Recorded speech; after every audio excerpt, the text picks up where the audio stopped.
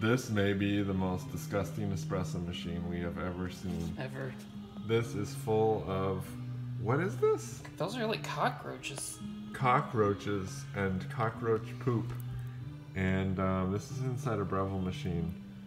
So, um, ugh, gross. Thank you for watching with Kanen Coffee.